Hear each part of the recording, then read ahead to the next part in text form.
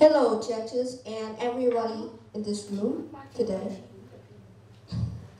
Now I'm going to tell all of you about my dream. My dream is to become a scientist who can help save the environment by his inventions.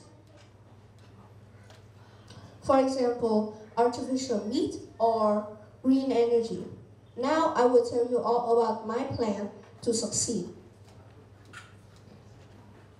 My plan contains six parts, believe, picture, tell it, plan, work, and relax.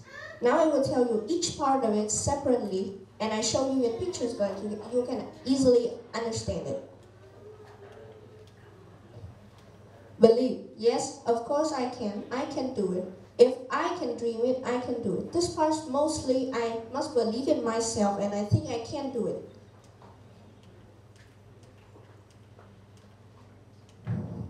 Picture, uh, this part picture it is that I have to imagine myself in the future. What job would I do? What, which company will I do it and what would I do, what would I invent in the future?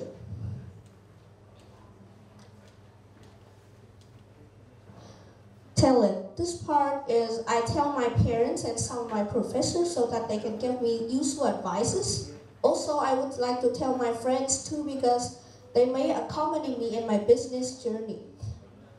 And last but not least, I also need to tell some angel investors so that they can help me in my economic. Plan. Next, I really have to make a plan of what I will do in my future. I will have to continuous learning in science, all science of course, I also have to learn life skills, self-studying skills, self-motivation, and management skills.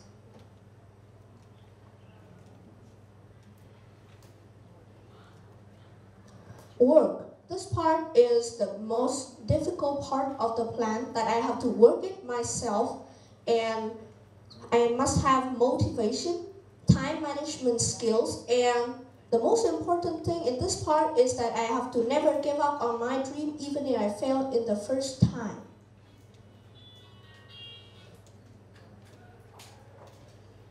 The final part, this part I made for myself is just to relax Relax is not just traveling around with my family after I success, but also giving experience to people who also want experience to success like me of my presentation. Do you have any questions, judges?